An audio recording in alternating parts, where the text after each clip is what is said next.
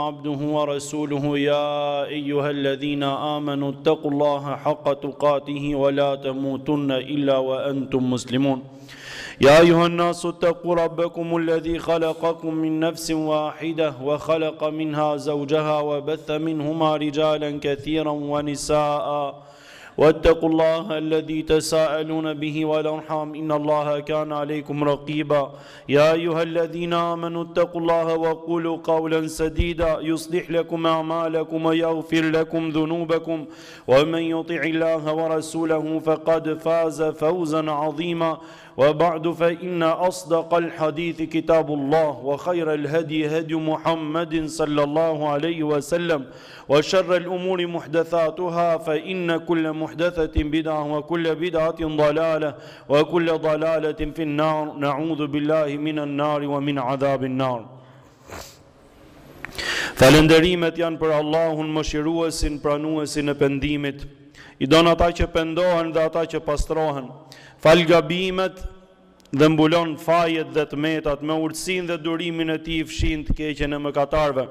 pranon justifikimin e drejtë dhe merr parasysh dobësinë nuk ka zot tjetër veç tij zoti i parëve dhe të fundit shpërblyesi në ditën e gjykimit në ditën e tubimit ku s'vlerësohet pasuria e fëmija Dhe kriteri vlerësues mbetet vetëm puna dhe vepra.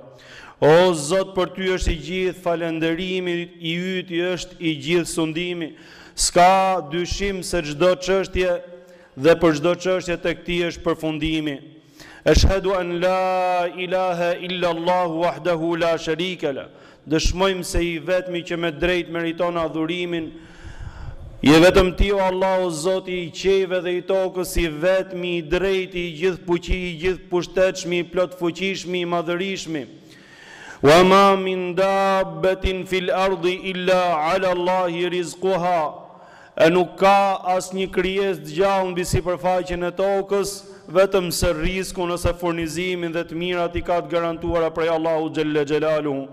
E si të mos të jetë Ai Zoti i Plotfuqishëm, si të mos të jetë Ai që e meriton falënderimin, adhurimin dhe lavdërimin, kush tjetër përveç Tij, Mund të bëjë këto vepra është i vetëm pra në krijimin, në veprat, në adhurimin dhe në emrat dhe cilësitë e Tij. Wa ashhadu anna Muhammeden abduhu wa rasuluhu. Dëshmojmë se i dashuri ynë, Muhammed Mustafai alejhi salatu ue selam, ishte robi dhe i dërguari i Allahut xhelle xhelaluhu. E dërgoi Zoti mëshirë për mbarë njerëzinë, i çeli zemrat. I ndriçoi mendjet, hapi me këtë profet i madhi Zot sy të verbër, veshë të shurdhër dhe orientoi zemra të hutuara. E lus Allahun xhelle xhelaluhu që në këtë botë neve gjithmonë të na bashkojë për vepra të mira, nën hijen e fjalës dhe faljes së Tij, Të na mundësojë neve që të jetojmë për fjalën La ilahe illallah, që këtë jetë neve ta jetojmë për fjalën La ilahe illallah, e të na e mundësojë që këtë jetë ta mbyllim me fjalën La ilahe illallah, e në xhenetet e e begata neve të na mbledhë në botën tjetër e të na bashkojë atje është Begatia e pasosur dhe e përjetshme. O Zoti ynë, të gjithë ne kemi gabime dhe kemi mëkate. I pa të meta je ti o Allah dhe ti je i pagabueshëm. Ti je i Mëshirshmi që hape derën e pendimit për të gjithë krijesat. Prandaj të lutemi ty o Allah, mos na pengo pendimin e sinqertë, na e mundëso kthimin tek ti. me kërkim falje dhe pendim, pendimi ndaj mëkateve dhe kthimi te Krijuesi me përulje, është fillimi i rrugës të njerëzve që kërkojnë Allahun xhelleshanuhu, është kapitali bazë i njerëzve të fituar, është çelësi i qëndrueshmërisë, është kriteri që përzgjedh njerëzit e afërt të Allahut xhelleshanuhu, Hasan el Basri, Zoti e mëshiroftë, thotë, Kur Allahu xhelle xhelaluhu i pranoi pendimin Ademit alejhi selam, Ademi alejhi selam për vite të tëra derdhi lotë dhe qau dhe u pendua Allahut xhelleshanuhu për diçka që e veproi në kundërshtim me urdhrin e të Madhit Zot, I gënjyer nga shejtani, se shejtani i shtyn njerëzit që të bëjnë mëkate dhe të bëjnë të këqija, i shtyn njerëzit ja zbukuron të keqen edhe mëkatin e në momentin që njeriu e e përjeton mëkatin mundet për momentin ndjen kënaqësi pastaj e kupton dhe e zbulon dhe e shef për çmimin që të fal mëkati më pas e për vite të tëra derdhi lot edhe qau për Allahun xhelleshanu derisa kur i pranoi madhi Zot pendimin I vijnë engjujt për ta përgëzuar, i vjen Xhibrili alejhi selam me Mikailin alejhi selam dhe i thonë, O Adem, kënaqu me faktin se Allahu xhelle shanuhu ta pranoi ty pendimin. Ademi alejhi selam pyet edhe thotë, Nëse ka vend, një pyetje mua më shqetëson, Cila është pozita ime tek Allahu xhelle shanuhu përpara se të bëja gabimin? Përpara se të bëja fajin, isha në pozitë të mirë tek i madhi Zot. Po tani thotë që unë e bëra fajin, megjithëse Ai ma pranoi mu pendimin, edhe ma fshiu fajin edhe gabimin. Cila është pozita ime? A është prapë pozita ime siç kam qenë unë më parë tek Allahu xhelleshanuhu, apo më ka humbë pozita tek i madhi Zot, sunduesi dhe sunduesi i të gjithë sundimtarëve dhe i plotfuqishmi? Allahu xhelle xhelalu i shpalli Ademit alejhi selam dhe i thot, O Adem, i trashgove pasardhësve të tu lodhjen edhe mundimin, se me të vërtetë mëkati të jep lodhje dhe të jep mundim. Dikujt mundet t'i duket sikur fiton diçka me mëkat. Dikujt mduket mundet t'i duket sikur sikur po i vën punët në terezi me pislliqe ose me gjëra të cilat pra janë të ndalume, ndërsa Allahu xheleshanuhu i thotë Ademit alejhi selam, Ti me të vërtetë trashëgove, thotë, lodhje dhe mundim me mëkatin që bëre, porse ti gjithashtu i trashëgove pasardhësve tuj, i i trashëgove pendimin, prandaj gjithsecili që do të bëjë mëkat ose do të fa ose do të bëjë faj, edhe do të bëjë gabim, E do t'i lutet Allahut xheleshanuhu, Allahu do t'i përgjigjet lutjes tij ashtu siç t'u përgjigj ty o Adem. E kushdo që do t'i kërkojë falje Allahut xheleshanuhu, Zoti do ta fali, Allahu xheleshanuhu ka për ta falë, sepse unë Adem jam Karibun Muxhib, jam ai që jam afër krijesave dhe jam ai që i përgjigjem lutjeve, o Adem, me të vërtetë ata që i pendohen Allahut xheleshanuhu, Ata që quhen Tewwabun, pra, që i pendohen vazhdimisht Allahut xheleshanuhu dhe në mënyrë sistematike, ditën që do të dalin për t'u ringjallë nga varret e tyre do të jenë duke buzëqesh, do të jenë duke buzëqesh, do të jenë të gëzuar dhe do të jenë me lutje të pranuar, pra lutjet e tyra janë pranuar prej Allahut xheleshanuhu. Wa tubu ilallahi xhemi'an eyyuhel mu'minune la'allakum tuflihun. Prandaj pendohuni që të gjithë juve o njerëz, o besimtarë ju që besoni Allahun xhelleshanuhu në mënyrë që juve të jeni të fituar në këtë jetë edhe në jetën tjetër. Pendimi është me urdhër dhe është detyrë në Kuranin famlart, Vëllai im, të ka urdhëruar Allahu xhelleshanuhu që të pendohesh. Kush fiton nga pendimi yt? Kush fiton edhe kush ka dobi edhe mirësi nga pendimi yt, vetëm se ti ke mirësi edhe vetëm se ti ke dobi, edhe thuaj Elhamdulilah falenderimi i takon Allahut xheleshanu që na e ka lënë neve mundësinë që të pendohemi, sepse natyra e njeriut është gabimtare. Imagjino sikur mos kishte një derë të hapur që është dera e pendimit, Ku do shkoshin njerëzit me mëkatet edhe me gjunahet që bëjnë ato? Kush përveç Allahut xheleshanuhu mundet që t'i fali ato edhe kush mund të marri kompetencat e të plotfuqishmit Allahut xhellexhelaluhu? Allahu xhellexhelaluhu duke e ditë natyrën Gabimtare të njeriut, dhe duke e ditë se njeriu ka shumë nevojë për falje dhe amnisti hyjnore, dhe duke e ditë, duke, duke dashtë me i bo me dije njerëzit që Zoti ju don shumë, Allahu Xhelleshanuhu njerëzit i don shumë dhe don t'i fali dhe t'i mshirojë, prandaj nuk e la në dorë pra që të zgjedhi gjithsecili, por e bëri me urdhër, Wa tubu ilallah, dhe pendohuni tek Allahu Xhelleshanuhu që të gjithë, o ju besimtarë, në mënyrë që të jeni pra në mënyrë që të jeni të shpëtuar Allahu xhelle xhelaluhu në Kur'anin famlart thotë Ja ejuhelladhina amanu tubu ila Allahi taubatan nasuha O ju që keni besuar O ju që i thoni vetes besimtar për juve drejtohet kjo thirrje prej Allahu xheleshanuhu Çfarë të veproni dhe çfarë të bëni, pendohuni tek Allahu xheleshanu me pendim të sinqertë. Pse duhet pendohemi o Zoti ynë? Pse të bëjmë, pse të bëjmë pendim edhe pse të kthehemi me kërkim falje dhe me pendim tek Ti o Allah? Asa rabbukum en jukeffira ankum sejjiatikum ue judkhiluku ue judkhilekum xhennatin texhri min tahtihel enhar. Don Allahu Xheleshanuhu që juve t'ju fali gabimet edhe të metat edhe të këqijat,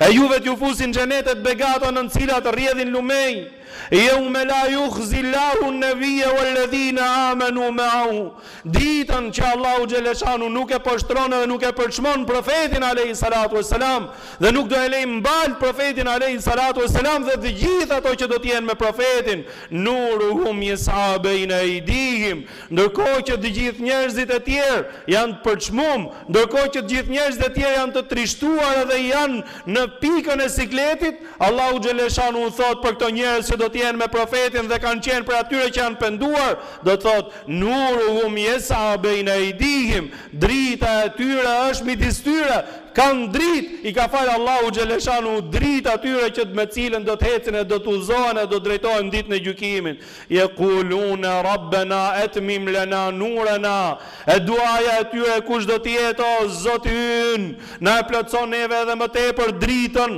do t'i fali Allahu xheleshanu dritë ndërkohë që shumë njerëz tjerë nuk dihet se ku janë edhe nuk dihet se si e kanë hallin e nuk dihet pra janë ditën e sikletit edhe janë rrëmujë nuk po e gjejnë vetveten se ku janë na ditë Allahu xheleshanu i ka fal stabilitet atyre të cilët pendohen e do të jenë bashkë me Profetin alejhi salatu ue selam e do të kenë dritë prej Allahut xheleshanuhu. Të gjithë kemi nevojë për pendim, edhe ata që falen edhe agjërojnë, madje edhe namazfalësit e natës, madje edhe hafizat e Kuranit, madje edhe nxënësit e dijes, madje edhe edhe dijetarët e Islamit, të gjithë, e aq më tepër ata të cilët mëkati edhe e keqja i ka zhyt n'errësirë edhe i ka largu paksa ose fare nga Allahu xhelle xhelaluhu. Ikën jeta, ikin orët, ikin ditët, ikin javët, ikin mujët, edhe ikin bashkë me to edhe vitet bashkë me to edhe exheli, Ikën edhe jeta jote vetëm se kur të vjen diçka është fakt që ti exhelin tat nuk e din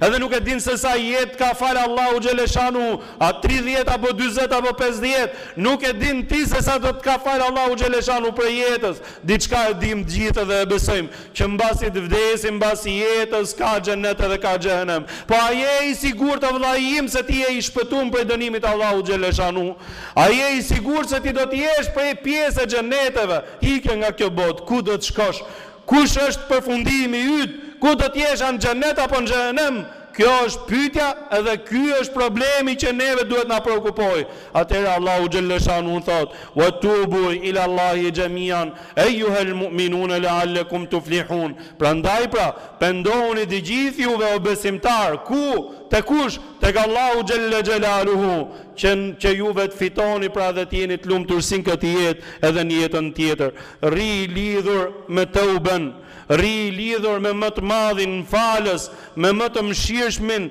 me më të madhërishmin, i cili ofertën hyjnore, ofertën hyjnore për falje, Edhe amnisti nuk është se e përcaktoi me sezone, shpejt se mbaroi sezoni verës, shpejt nxitojmë kush të regjistrohet se dhjetë regjistrimet e para janë falas, shpejto se hiku deri me datë kaq ka ulje, vetëm njëqind lavatriçet e para kush i ble, nuk ka kshu lloj ofertash, është ofertë hyjnore nuk është e përcaktume, xhemian ejuhel mu'minun të gjithë juve o besimtarë, dhe këtu duket madhështia e Allahut xheleshanu, Se sa më shumë njerëz, sa më shumë prej krijesave t'i pendohen Allahut xheleshanuhu, aq më shumë kënaqet i Madhi Zot nuk ka kufizim, e la derën e teubes hapur për të gjithë ata të cilët e mendojnë se kanë nevojë edhe gjejnë shpresë edhe gjejnë prehje tek i Madhi Zot tek falja e Allahut xheleshanuhu. duke i dhënë shpresë njerëzve të cilët për momentin e kanë humbë fillin, duke i dhënë shpresë atyre njerëzve të cilët mendojnë se i ka mund shejtani asnjëherë nuk të mund shejtani se derën e ke hap tek Allahu vetëm nëse ti nuk don me hudh hapin vetëm se ti nuk don nëse ti nuk don me zgjat dorën që ti të kapesh edhe të përfitosh prej mshirës së Allahu xhellexhelaluhu. Lukmani i urtë i thotë birit tij, O biri im, shpejtoje pendimin, shpejtoje pendimin, në qoftë se bën një të keqe, në qoftë se mendon se ke mëkate, e të gjithë neve kemi mëkate, atëherë shpejtoje pendimin, Ka mundësi që tani, ka mundësi sa të mbarojë xhumaja, ka mundësi ti vëllai im patjetër të marrësh avdes të falësh dy rekate dhe t'i pendohesh Allahut xheleshanuhu për mëkate që ty të kujtohen edhe për ato që s'të kujtohen shpejtoje pendimin biri im se ato të cilët e lejnë pas dore pendimin edhe e harrojnë pendimin kanë dy rreziqe e para Shtresa e pisët që len mëkati ka shumë mundësi që të zejë njëra tjetrën dhe ta bllokojë zemrën e pastaj vështirësohet pastrimi i saj, nuk pastrohet, nuk pranon më pastrim zemra. Dhe e dyta,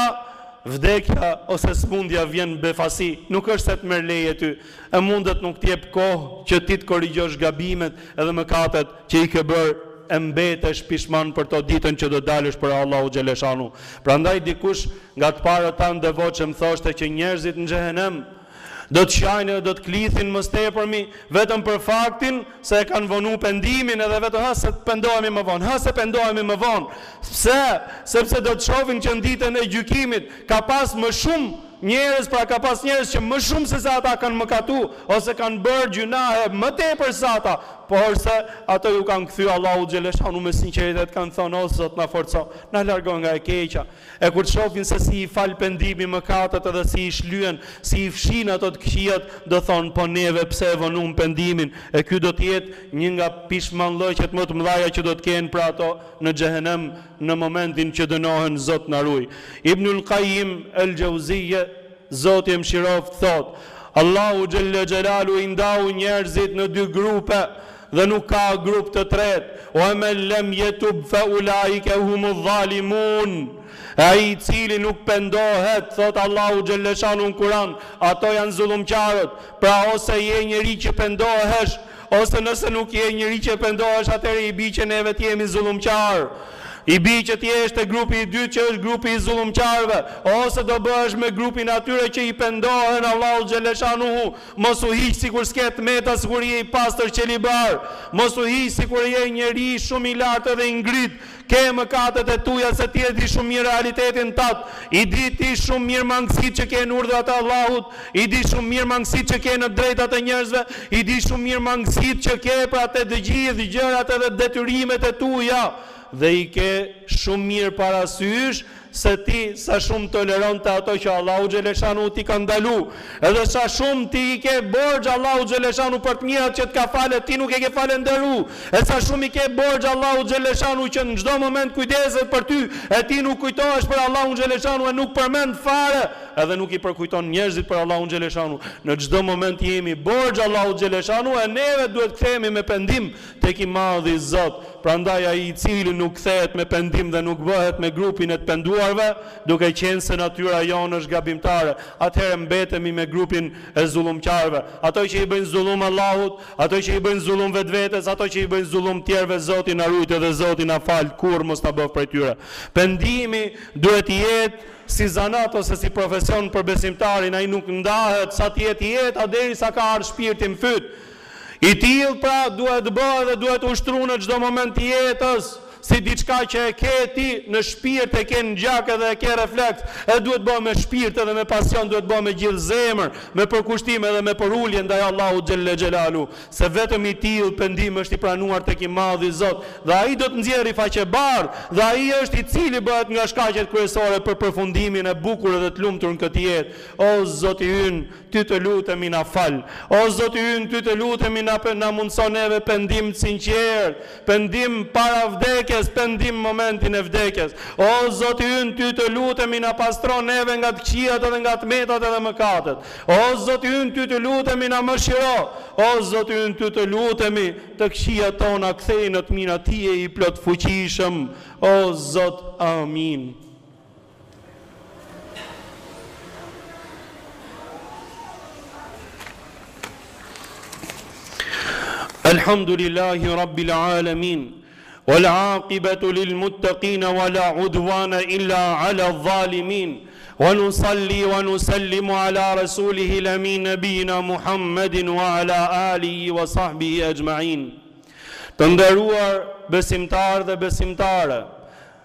E lus Allahun xhelleshanuhu që neve të na mëshirojë, e lus të madhin Zot që të na shohë me syrin e mëshirës dhe jo me syrin e drejtësisë se me të vërtetë kemi nevojë për faljen dhe mëshirën e tij. Në kohën e Musait alejhi selam, Musa alejhi selam pra paqja e Zotit qoftë me të ishte nga profetët e mëdhenj, Dhe i kishte rastisë disa herë kur shkonte për në takimin me Allahun xhelleshanuhu që shkonte tek vendi i shenjtë pra atje tek vendi që ishte në Turi Sejna dhe i fliste Allahu xhelleshanuhu drejtpërsëdrejti i kishte rastisë që kalonte pranë një faltoreje Dhe kish pa që nji person e kish gjet disa herë aty pra falej shum edhe adhuronte Allahun xhelleshanuhu shum madje rrinte e shikonte nji cop herë dhe mahnitej me adhurimin e tij derisa nji dit i thot o rob i Allahut të kam pa thot përkushtimin tat atëhere thot ke naj kërkes thot që un t'ia parashtroj Allahut xhelle xhelaluhu drejtpërsëdrejti i thot o Musa thot Lutju Allahut xhelleshanuhu që mu të më mundësojë pra të më mundësojë faljen edhe mëshirën e tij. Që mu të më mundësojë që unë kurrë mos ta harroj të madhin Zot. Të më mundësojë që gjuha ime ta përmendi pareshtur dhe mos të më hapi punë tjera pra edhe çështje tjera që të më shmangin nga çështja e Allahut xhelleshanuhu dhe të më bëjë prej falënderuesve. E shkon Musa alejhi selam takimin me Allahun xhelle shanuhu e në momentin që zhytet në bisedën me Allahun xhelle shanuhu harron të gjithë gjërat e tjera nga kënaqësia dhe nga mrekullia e Allahu xhelle shanuhu i thotë o Musa a të ka pyt diçka njeri për mua apo a të ka lënë dikush porosi për mu i thotë po o Zoti im thotë është një njeri falënderues është një njeri adhurues unë mahnitem me adhurimin e tij I cili kërkon o Zot që ti t'i mundësosh atij që kurrë mos të të harrojë, se edhe mos me harru Allahun xheleshanu është frymëzim dhe është inspirim prej të Madhit Zot. I cili kërkon që o Zot të ketë kënaqësinë Tate, o Zot ai kërkon gjithashtu që ti t'i mundësosh atij pra që t'i heqësh gjithë hallet dhe preokupimet dhe të merret vetëm me Ty e të jetë prej falenderuesve ndaj mirësive Tuja. I thotë Allahu xheleshanu o Musa, midis tij edhe midis meje ka disa gjëra që akoma nuk janë mbyllë. Midis tij edhe midis meje ka disa gjëra që akoma nuk janë mbyllë. Pra ka disa çështje të cilat duhen shqyrtu tek Allahu xheleshanuhu. I dha me kuptu që ai ka disa faje dhe disa gabime dhe disa mëkate. E kur shkon Musa alejhi selam i thotë atij personi, Allahu xhelle xhelaluhu më tha për ty që midis meje dhe robit tim ka disa gjëra që akoma nuk janë mbyllë. Atëherë qan ky njeri dhe i thotë, O Musa thotë, Vallahi thotë lau taradani ma faraktu babeh, Vallahi thotë unë kam mendimin më të mirë për Allahun xhelle xhelaluhu Zotin tim, e sikur ai të më përzinte mu ku mund të shkoja unë kurrë nuk kam për të ikë nga dera e tij. Nuk e bën kurrë i madhi zot po edhe sikur të më përzete ku do shkoj unë ku do përplasem unë te dera e tij do ngulem edhe aty do qëndroj aty do trokas gjithmonë e në atë moment Allahu xhelle xhelalu i shpall Musait alejhi selam i thotë kad gafertu li abdi e kam fal robin tim edhe i kam mbyll ato gjona që ka pas midis meje edhe midis tij vllai im ai i cili e shpeshton trokitjen e derës Ai i cili e shpeshton trokitjen e derës ka shumë mundësi që t'i hapet dera dhe t'i jepet përgjigje e në momentin që ti neglizhon e nuk troket në derën e Teubes, si pret ti që të të hapet dera dhe si pret ti që të të përfshijë Allahu xheleshanu me mirësi edhe me faljen edhe me begatinë e tij. O Zoti ynë ty të lutemi na fal edhe na mëshiro. Amin. Të nderuar vëllezër dhe motra, ju keni parë dhe keni ndjek. Gjatë ditëve të fundit edhe nëpër media disa disa vështirësi ose disa sprova, siç i thonë fatkeqësi natyrore, po neve themi sprova, të cilat i kanë rënë edhe vëllezërve dhe motrave muslimane në Bosnjë. Minimumi që duhet të bëjmë është që neve të bëjmë dua se me të vërtetë ka qenë sprovë e rëndë, ato përmbytje që kemi parë neve janë aq po janë edhe më të rënda akoma se jo të gjitha i pasqyrojnë mediat. Minimumi neve duhet bëjmë dua që Zoti t'ja lehtësojë dhe Zoti t'i ruajë nga çdo e keqe, që Zoti t'i kthejë në fenë e tyre, e ai i cili ka mundësi nga ana financiare, që të kontribuojë edhe të ndihmojë, në qoftë se ja ka bo Allahu Xheleshanuhu marr, mundet, në komunitetin musliman është hap një llogari pra, mundet të shkojë të derdhi kontributin e tij, që kontributi të shkojë atje sado qoftë ai, me gjithë shpirt dhe me gjithë zemër t'ia pranojë Allahu xheleshanuhu. Neve gjithashtu desha të them edhe një pikë tjetër. Neve gjithashtu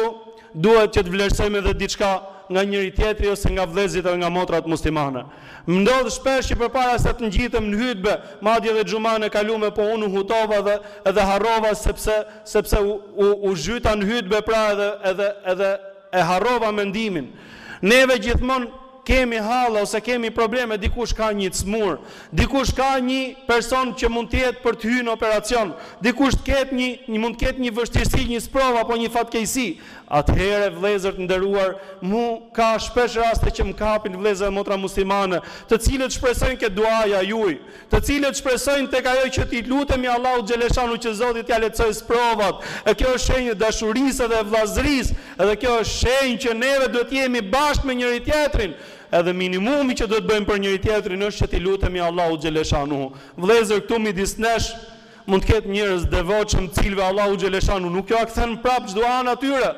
sepse sikur mos kishte njerëz të devotshëm sipërfaqen e tokës dijeni se do vite shkatrimi, sikur mos kishte njerëz të dijshëm edhe njerëz të mendshëm edhe njerëz që e kanë frikë Allahun xheleshanu neve sot nuk do ishim këtu, do u shkatërrote kjo botë, kur të ndodhi ajo gjë nuk do të ketë më jetë as i sekond më kjo dynja,